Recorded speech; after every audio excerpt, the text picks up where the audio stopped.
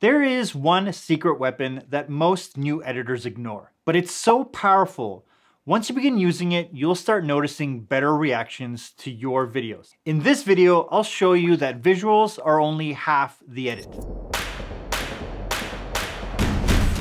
I'm Rafael, and I'm so glad you found my channel where our goal is to always fix it in camera and then finesse it in post. And I hope by the end of this video, I'll earn a like and a sub.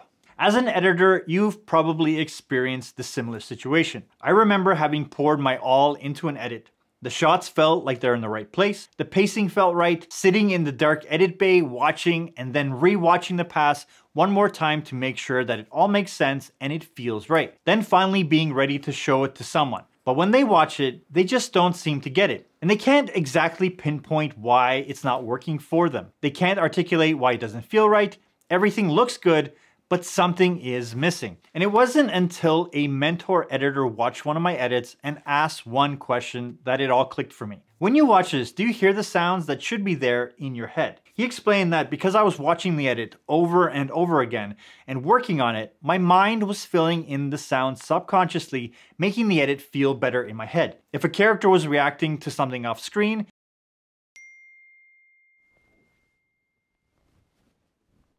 These are all things that as an editor or director, you just know. But when someone watches a pass for the first time, they don't have that advantage of knowing what you know what's coming next. They only see it as it is presented to them in the moment. And if it's missing something as big as the audio component, it can mean the difference between it working and it falling very flat, especially if the audio is important to what is happening on screen. It's like showing half of the image. You are missing half of the potential information. This is also the same in simpler videos like online videos. Adding in the sounds for things that should have sounds really helps elevate the experience. Sounds for transitions, for text animations, for pop-outs, for any movement on screen. These are all little things that add up to half of the total viewing experience. Engage the viewer's eyes as well as their ears. It's a whole other sense that you have access to. This is why you see some of the best YouTubers spend so much time adding sound effects to even the smallest animations. It provides interest that the visuals wouldn't be able to do on their own. It also helps draw the viewer's attention to information that otherwise would be completely missed. They all build to the experience of the entire edit. Or if it's a B-roll sequence, adding in diegetic sounds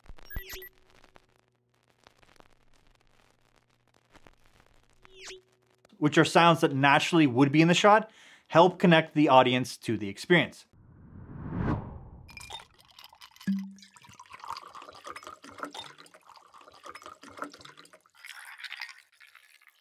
And it's something that I see time and time again when I watch edits of newer creators. They've missed the audio and the immense weight and value of sound. Not necessarily the final mix or the way it sounds in the final piece, but the simple audio cues in general that can be present in the edit that really make the viewer feel like they are there. These are moments that help connect the viewer to the intended experience. For example, you have a shot of a beach.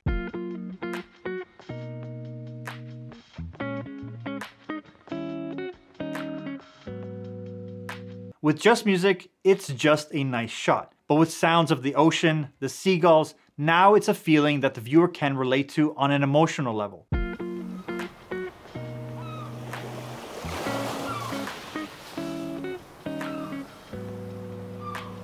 In their mind, they can smell the air, feel the wind, taste the salt, and they feel the calmness of the scene.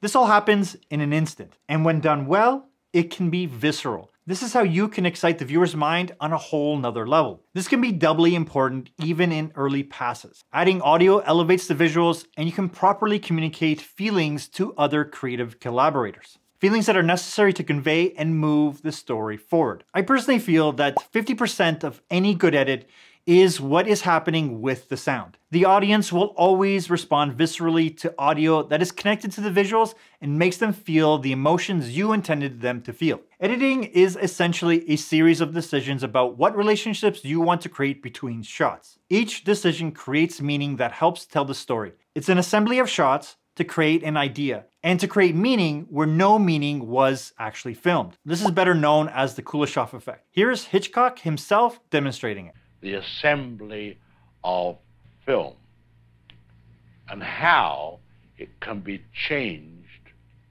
to create a different idea. Now we have a close up. Then we show what he sees. Let's assume he saw a woman holding a baby in her arms. Now we cut back to his reaction to what he sees. And he smiles. Now, what is he as a character? He's a kindly man. He's sympathetic. Now, let's take the middle piece of film away, the woman with the child, but leave his two pieces of film as they were. Now we'll put in uh, a piece of film of a girl in a bikini. He looks, girl in a bikini, he smiles. What is he now? The dirty old man. He's no longer the benign gentleman who loves babies. That's what film can do for you. Visually, one of the basics in editing is placing one shot next to another.